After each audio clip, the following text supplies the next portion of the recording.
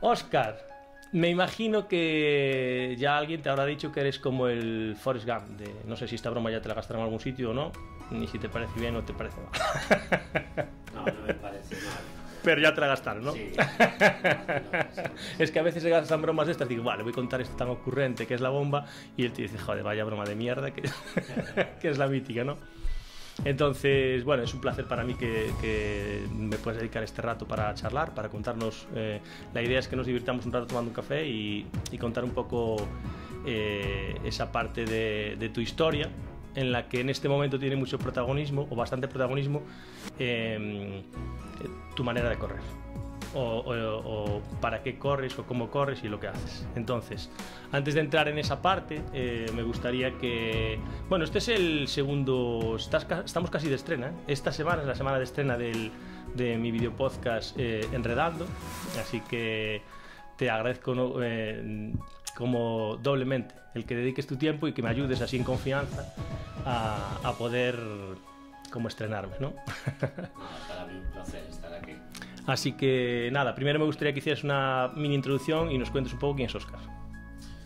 Bueno, eh, Oscar es un chico eh, que le gusta eh, ayudar en la medida de lo posible a demás gente, sea de la forma que sea, pero desde hace unos años aquí que me aficioné un poco al atletismo, a correr. Me gustan las largas distancias y sobre todo la gente que conoce, sociabilizar y bien la forma de correr una oportunidad pues para también de vez en cuando colaborar con la gente, sea una asociación de, del cáncer, de esclerosis, de lo que sea.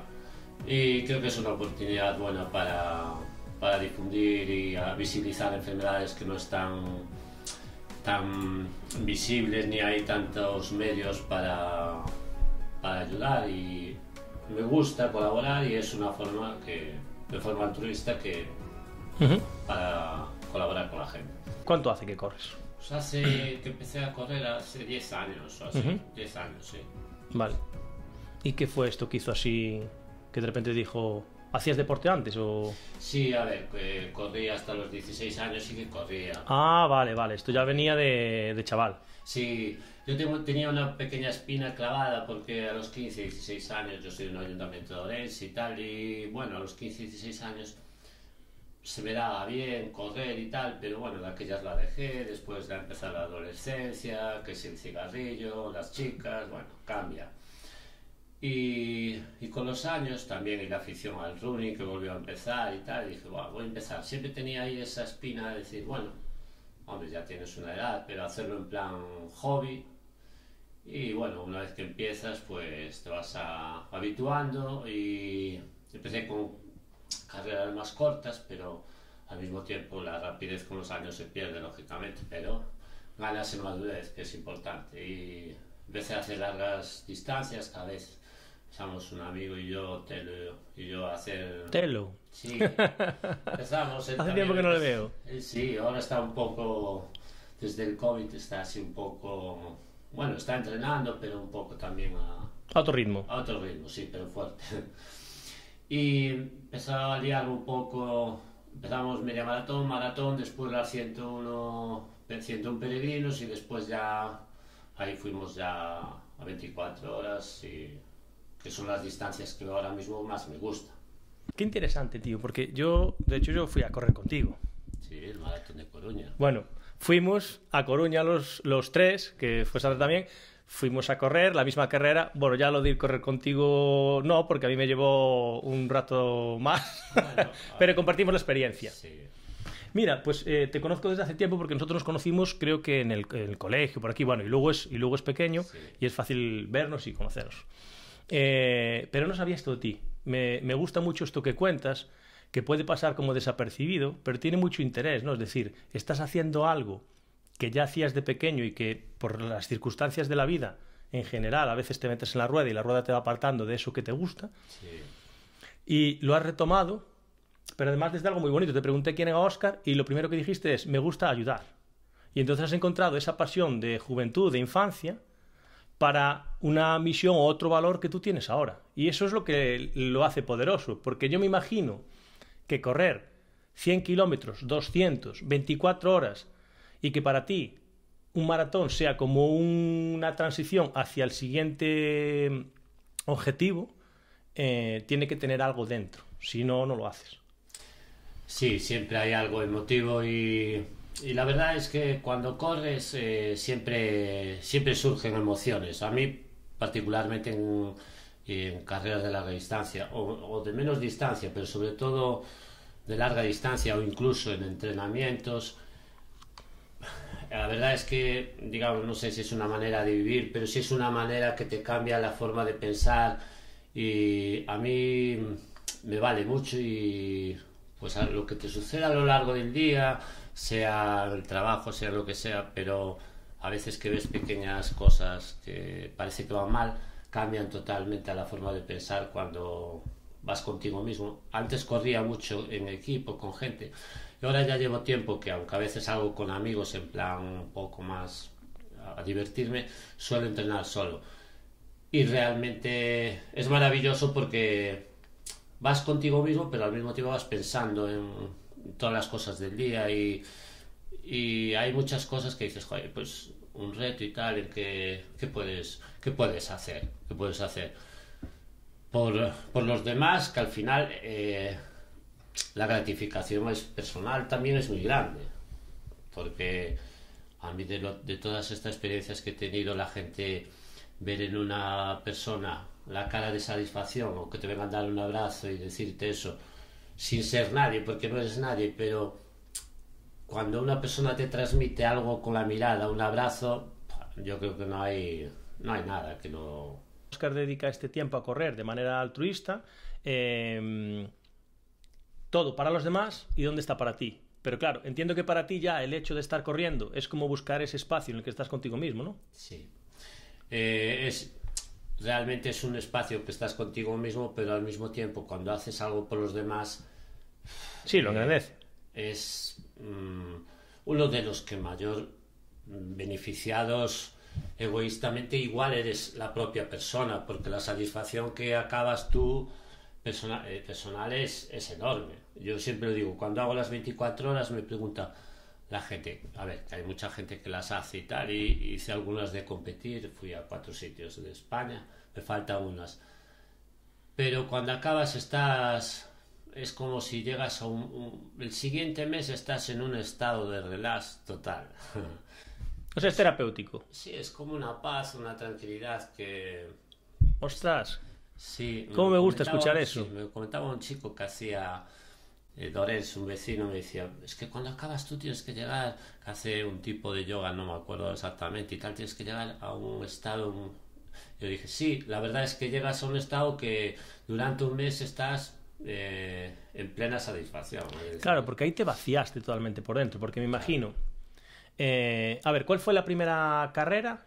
La primera que hiciste que fuese, por así decirlo, como un poco... Mmm, larga, es decir, porque una media maratón eh, la hace mucha gente, eh, los 10.000 mucha gente, mm. luego en diferentes, oye, pues hay gente que va a ganar y hay gente que sí. va a participar, pero bueno, 10.000 es una, una, medida tal, media maratón está bien, la maratón ya es una distancia seria.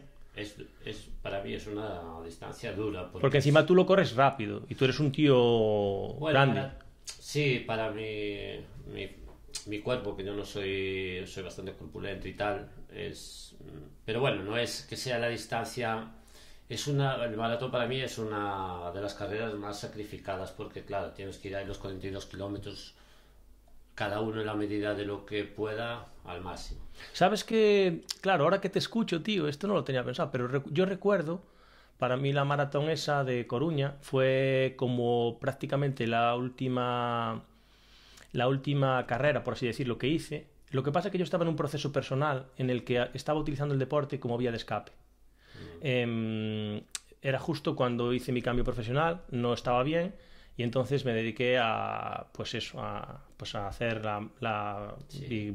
hice medias maratones a nadar a, hice un medio Ironman siempre en unas condiciones no aconsejables porque no estaba físicamente tal pero era como ese, esa vía de escape que yo había encontrado para bah, Entonces, pero sí que te conectas mucho, porque yo recuerdo, sabes que a veces pasan cosas que no las recuerdas, pero recuerdo como muy tangible, muy a nivel emocional, ese momento en el que nos sacamos la foto eh, en el centro comercial, el día que cogimos los dorsales, luego el momento en el que íbamos a salir, con esos nervios de, íbamos, de vamos a salir, luego recuerdo una imagen en concreto ya hacia el final, por cerca del puerto, y recuerdo perfectamente cruzarte a ti y ver que yo, yo iba muerto y, y chao, Johnny, no sé qué.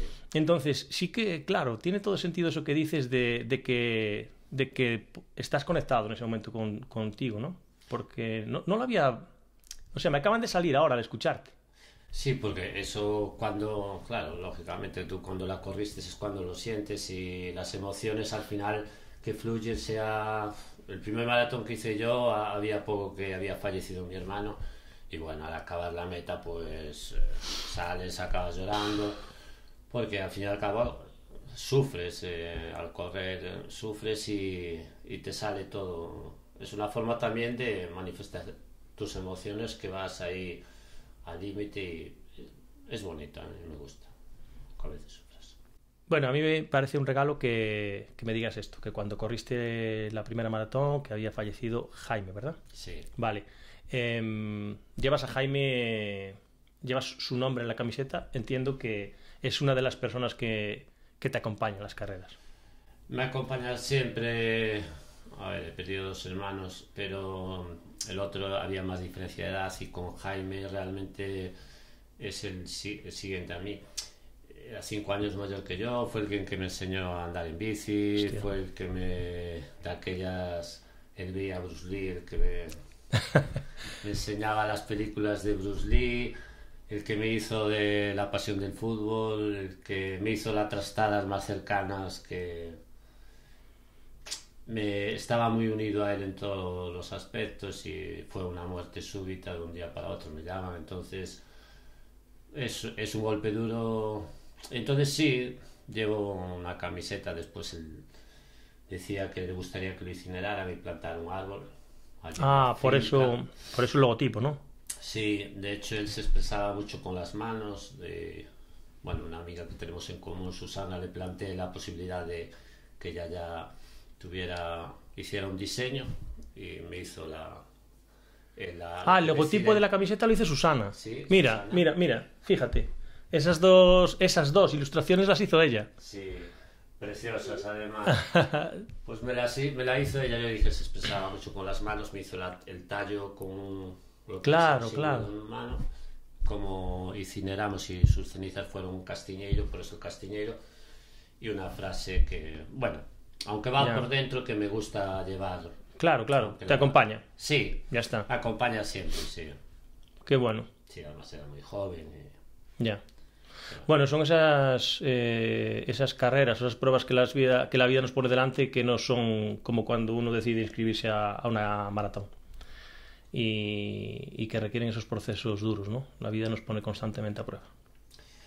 Sí. Hmm. Vale, eh, hiciste la maratón que dices que es dura. ¿Cuándo de que, que, hay de repente que hace así y, te, y dices, bueno, voy a hacer una 101, que ya es mmm, tremendo. ¿O cuál hiciste así muy bestia? Sí, Porque eh... yo recuerdo que hiciste hasta el Camino de Santiago 200 kilómetros algo así. Sí, 216. Primero hice la 101 con, con mi amigo Enrique Telo, que de hecho dijo, venga, nos apuntamos. Y la hicimos, es, eh, es dura, pero bueno, también fuimos acompañados y tal, fueron 12 horas y pico. Y ahí fue donde ya saltó un poco la chispa de... Ahí te enganchaste. Sí, de, decir, bueno, pues me gustan las largas distancias. De hecho, la 101 después la hice 4 o 5 años más. Pero ese mismo verano surgió la carrera de una a favor de las enfermedades raras por la Costa da Morte, de Malpica a Finisterra. Todo lo que se recaudaba era para enfermedades raras. Entonces, hicimos esa, que fueron casi dos días. Eh, bueno, de sufrimiento porque era todo por la ruta de los faros, ibas siempre con un pie bordeando al lado del mar, estaba sin desbrozar y... Pero lo que decimos, yo me acuerdo la, la primera noche, la segunda, porque salimos de noche, la segunda noche yo me acuerdo de, de ir corriendo y lo primero que venían coches de frente, había un tramo de carretera que Lo único que me preocupaba era no irme al coche. Ibas un poco zombie. Hay momentos que, claro, eso ya... Mm, ¿Cómo, ¿Cómo, es ese proceso? A ver, vamos a intentar entenderlo. Eh, tú inicias una carrera. ¿Cuánto tiempo necesitas entrenar una carrera de larga distancia? Esa, siempre me lo preguntan. Yo al final no es que haga nada específico, son horas de entrenamiento que vas haciendo, pero a lo mejor salidas a lo mejor de larga de tres horas o cuatro, pero como son a un ritmo mucho más corto que puede ser un maratón, es un ritmo mucho más lento. O sea, ahí acompaña, ahí el porcentaje de cabeza físico es mucho mayor el de cabeza. Yo le pondría cabeza un 80% o 70% y físico 30%. Físico tienes que estar, pero la cabeza... Sí, la cabeza. Vale. ¿A partir de qué kilómetro en, yo qué sé, en el otro día? Vamos, vamos a hablar de la más cercana que tienes. 24 horas. Que la dificultad que yo le veo, sin tener ni idea, es 24 horas, o sea, tremendo. Eh, un coraje de la hostia, porque yo me acordé de ti a la mañana. Con, de repente estaba diluviando y dije, hostia, este va a empezar la carrera. O sea, eh, claro, tu visión ya es diferente. Dice, me da igual que yo una hora, si voy a correr 24 pero es que encima dando vueltas a la muralla, que es muy bonita para dar una vuelta. Yo cuando viene un turista de Lugo le digo, date una vuelta a la muralla, que tienes, haces, tienes una perspectiva, pero 24 horas, porque no es lo mismo ir de aquí a Coruña corriendo, que 24 horas dando vueltas a la muralla. Entonces, vale, tú lo preparas previo, ya llevas ahí unos kilómetros, tu cuerpo está preparado, tu cabeza sabe que se va a enfrentar.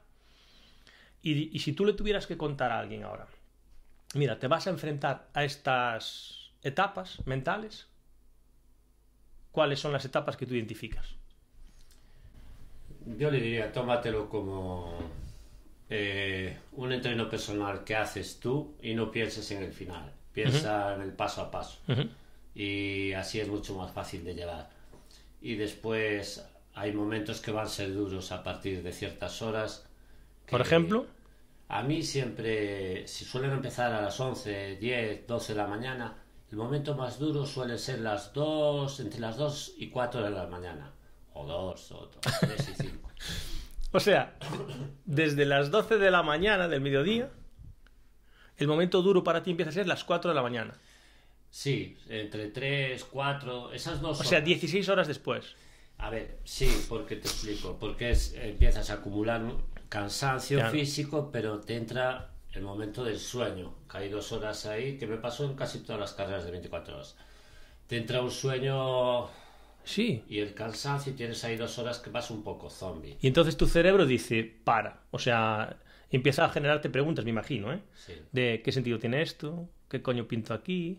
La primera vez, tú ya la tienes controlado, ¿no? La primera vez, sí, eh, sufrí, de hecho iba pues mojándome la cara y tal.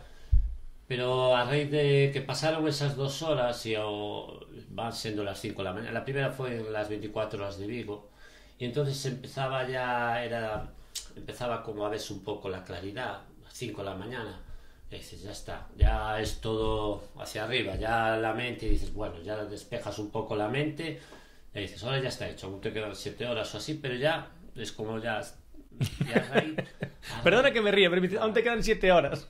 Sí, pero es como cuando haces una media maratón y pasas los 10 primeros kilómetros. Sí, ya, ya, ya. ya Dice, va, ya está. Es a nivel mental, ya dices, bueno, aunque queda mucho, claro, al final es un poco un juego de mente. De... Total. Sí. Si no estás preparado mentalmente. Sí, y después ya ahora ya sé cómo ese bajón lo vas a tener siempre.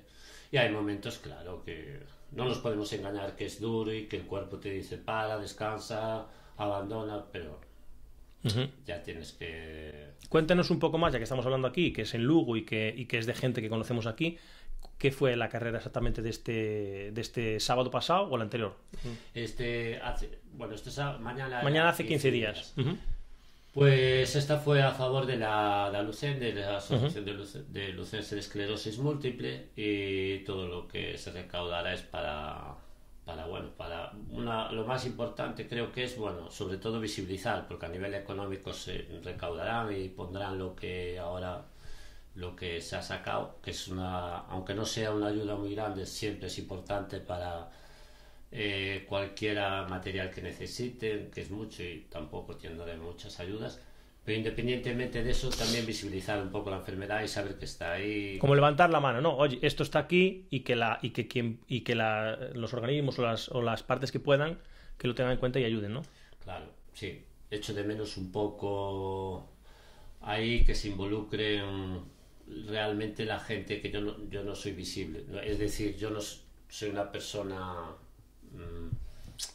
de la calle desconocida, pero hay gente que tiene el poder por por su situación, porque los medios la acompañan y pueden, sin hacer casi nada, ayudar mucho. Claro.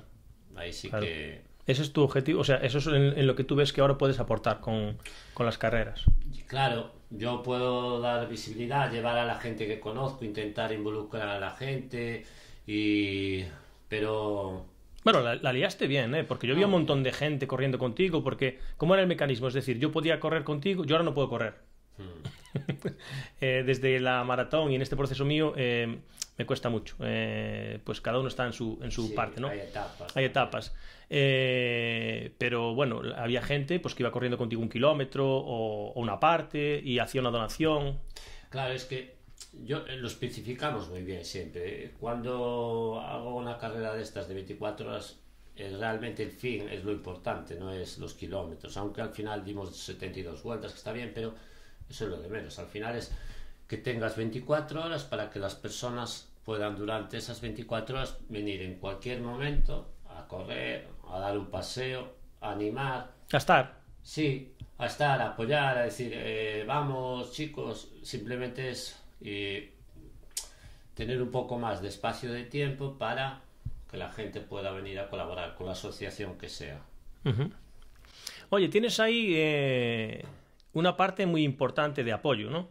Eh, en todas las fotos, en todas las fiestas, en todos los apoyos está ahí Alejandra. Sí. Eh, eso es importante, ¿no? Porque aguantar tu, tu, nivel de entrenamiento constante y estas historias y tal, y además ella con una sonrisa ahí eh, siempre apoyando y tal, eso para ese 80% de cabeza también es un factor fundamental, sí. ¿no? Sí, la verdad es que Alejandra está siempre ahí apoyando, siempre con una buena cara, es una persona que también gusta, le gusta ayudar, se siente muy orgullosa y aparte las carreras, yo me acuerdo en las 24 horas de Canarias, en 24 horas de Pinto en Madrid, que hizo muchas vueltas que podía acompañar en una hizo 40 o 50 kilómetros y para después al acabar decían, no, para el año tienes que venir a correr, pero es que a ver, tú tienes que venir y tal. y siempre está ahí animando, apoyando y sí, es una parte también muy importante. Sí, y hablando de orgullo, que también siempre te veo con tus te, tres besbellos, que les llamas tú, ¿no? Sí. Eh, en las fotos y por ahí. Joder, ellos tienen que sentir ese orgullo. Yo entiendo que tú sientas como padre el orgullo de que te, de que te acompañen, de que estén ahí, eh, independientemente de, de, las problemáticas de la juventud y la adolescencia yeah. en, en, nuestras relaciones. Eh, ya sabes que yo también sí. tengo un adolescente en casa. Eh, bueno, yo entiendo que todas esas partes también tocan, la... se sienten orgullosos porque se ponen ahí, ¿no?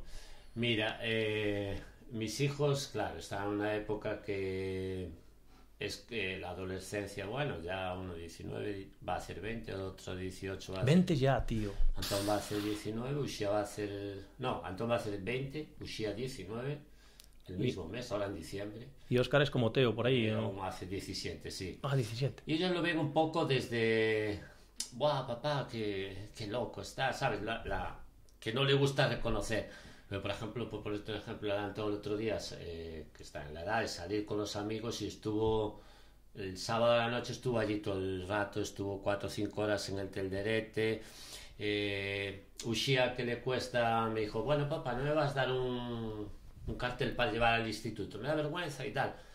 Yo sé que yo sí. Sí, pero el orgullo está ahí, está claro. Y lo más importante para mí es que ellos vean, ellos se involucren y ellos tengan conciencia de que eh, que ayudar, que se puede ayudar con poca cosa y... Eso, eso forma parte de tu legado como padre, de transmitir estos valores, de, de ayudar, del esfuerzo, de, de, todo esto, de lo que tú al final es, eh, es casi como la mejor herencia que podemos dejar, ¿no? Es decir, joder, pues, porque ellos lo van a poder implementar eh, a futuro cuando les toque, claro, ¿no? Pues sí. mira, eh, mi padre hacía esto y esto y esto, que representan tus valores. Claro, yo es lo que quiero transmitir. Es decir, ahora sé que son adolescentes que están en otro mundo y tal, pero ya sé, eso queda. Sí, eso, sí, eso sí, a ellos le va a quedar. Sin ninguna y duda. Eso bueno, pues algo que, que me gusta transmitir para que el día de mañana sean los mejores personas. Ujú. Y tienes ahí también un, un acompañante, creo que más de entrenos, ¿no? Hmm. Eh, no sé, no me acuerdo cómo se llama. Francisco. No, eh, no, a Francisco, pero que corres con él. No, no, no. Lua. Lua, Lua. Mi perrita. Vale, ahora hablamos de Francisco porque no lo había. O sea, lo, lo visualizo en las fotos, pero no. ¿Tu perrita qué? Porque claro, cuando al principio dices que eres como. que en, que en el momento que estás corriendo hay como muchas emociones, eh, evidentemente hay una conexión muy grande, porque los animales. O sea, eh, yo creo que, el, que Lua tiene que sentir que, que estáis haciendo algo juntos, seguro. Sí, de hecho Lua cuando pongo el arnés para correr ya empieza a subirse con una alegría. Sí, porque desde el primer, ahora tiene, hizo cinco años el 22 de julio, pero desde el primer año que cumplió el año que me dijo la veterinaria, ahora ya puedo sacarla con- a correr, ya va siendo conmigo, hombre, no todos los días, pero sí que sale muchísimo a correr conmigo. Tiradas largas. Sí, sí, uy, ya tiene ido hasta la y tiene hecho etapas de 42 kilómetros conmigo, ¿eh? Y de 10, de 15, de 20, cuando vamos, eh, la tengo que llevar atada, pero en algún sitio que no tal, pues la dejo que venga a mi lado, bueno, si hay que parar a ver, se para, ella, pero quiere decir que sí es, además, es que no te deja, quiero decir, si se para. Va encantada. Sí, me encanta, sí, además, con las NES ya va adelante, adelante, es una pasada, sí, los animales. ¿Y Francisco qué es? La, una manera también ahí que vais en colegueo. eh, Sí, Francisco es un chico que desgraciadamente perdió la visión con 36 años ujú. eh, y entonces lo conocí pues en una cafetería que él trabaja en la 11 y dijo que cuando perdiera la visión que de aquellas que en, en el atletismo que se apuntara y que fuera una, una forma de, de sentirse un poco libre. Lo que pasa es que estuvo un año compitiendo y después por circunstancias pues no, Ujú. no pudo seguir.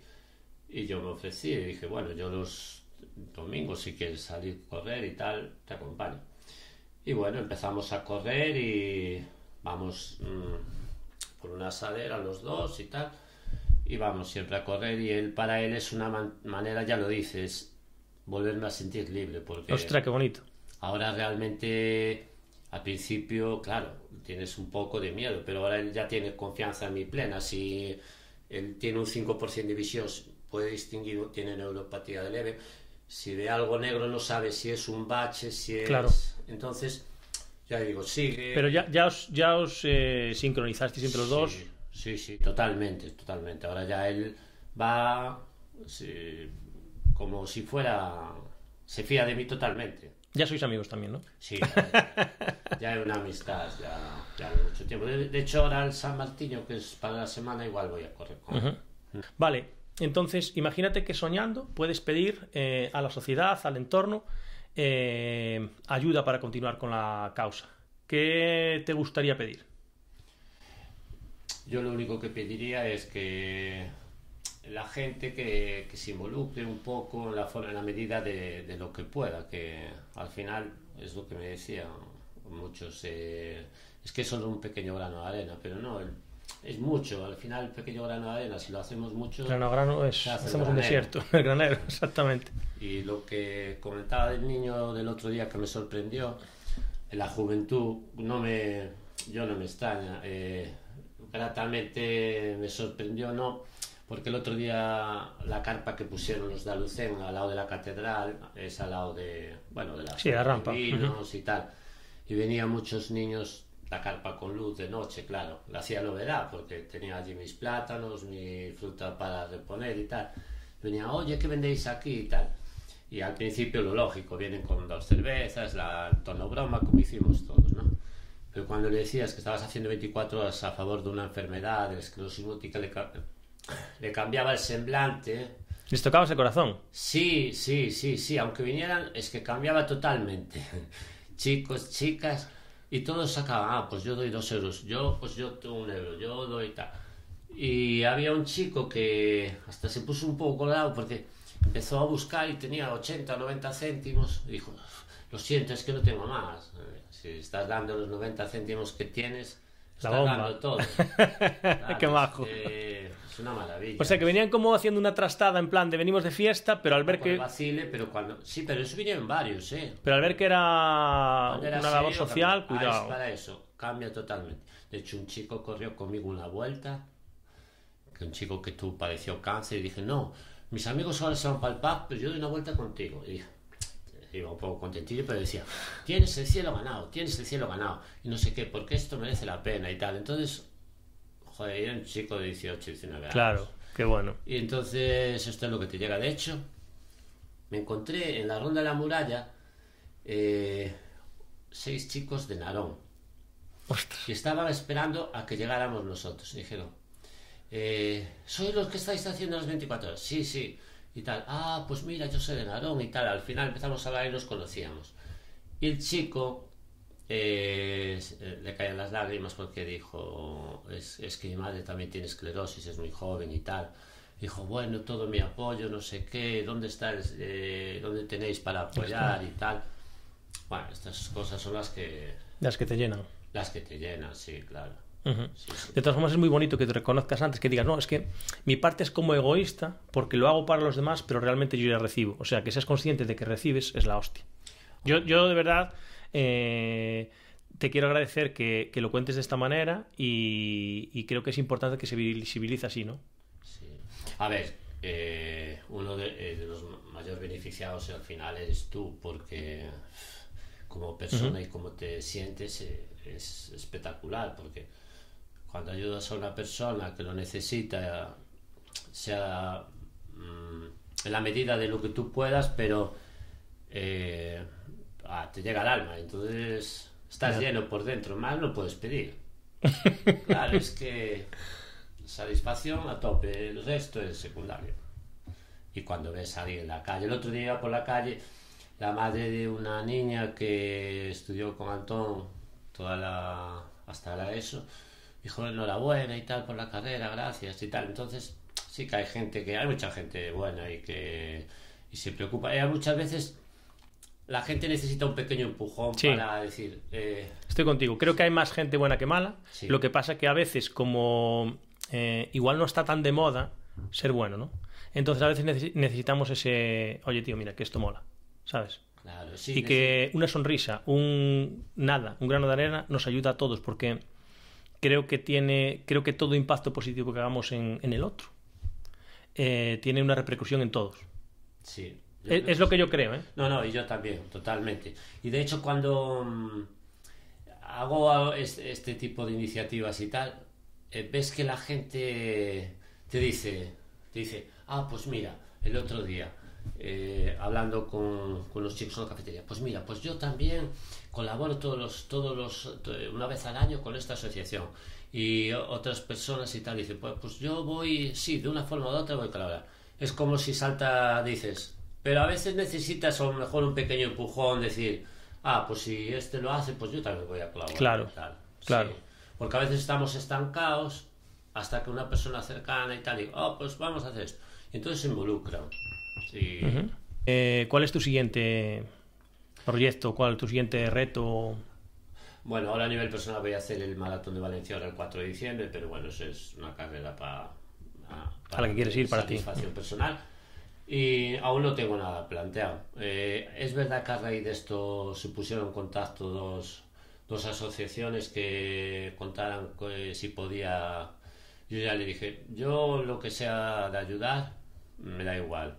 Puedo ayudar eh, con tiempo porque al fin y al cabo 24 horas Sí. pues sí que te dejan un poco... Físicamente he tenido suerte que no he tenido lesiones, pero el cansancio te dura durante un mes, no es lo mismo. Pero sin problema, siempre que se pueda ayudar con algo que al fin y al cabo te divierte. Bueno, yo te vi al día siguiente o a los dos días de la carrera y a lo mejor hay gente que no sabe que tú en tu trabajo también caminas mucho. Sí. Eh, ¿Cuántos kilómetros haces al día caminando a lo mejor? 10, 10, 11... O sea, sí, tú dos días después de la carrera, yo te vi por el centro, caminando ahí como vas con tu agenda, no sé qué. Así como tan pichi, ¿no? Sí, bueno, pero eso, caminando y tal, sí, Vale. hay que trabajar. eh, Te interrumpí, decías que Sí. te llamaron dos asociaciones, pero hay algo así que tengas, oye, pues si, si no se crea un evento nuevo, yo lo, lo siguiente será... Si no, me lo busco yo. Yo, de hecho, con esta asociación, es decir, a ver, mi madre tiene esclerosis, no había participado ya hace muchos años ninguna de esclerosis y me puse en contacto con ellos para que ellos quedaran sorprendidos porque tampoco se esperaban y están muy contentos. No conocía, solo conocía a una chica que lo tenía, que está en esa, en esa asociación. Pero quiero decir que si veo cuánto mayor eh, cantidad de asociaciones o gente que lo necesita, que veas que, que ellos también ponen su granito de arena, pues perfecto. Es decir, pero bueno, con esta asociación, por ejemplo, también quedé encantado. Ellos, la satisfacción de ellas eh, con mi persona mm, espectacular. Eso también es bonito porque. Claro. De cara. Oye, si pueden comprar una máquina para que una persona se mueva mejor, que tenga dificultad, lo Claro. poco que ayude es bueno. Es bueno. Sí. Ah, por ejemplo, en la protectora, cuando hice lo de la protectora, era, se pedía recaudar pienso. Se recaudaron mil y pico kilos de pienso y vendieron camisetas sobre 600 euros así.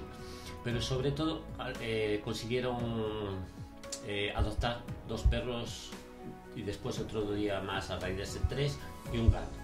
Me decía Alberto la protectora, me decía, bueno, lo más importante aparte del pienso es que se le cambió la vida a esos tres animales.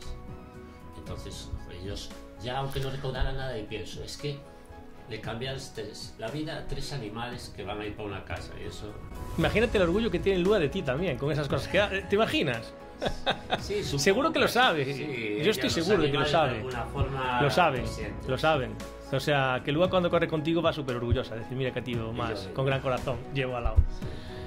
Muchas gracias, Oscar. Un placer. Igual.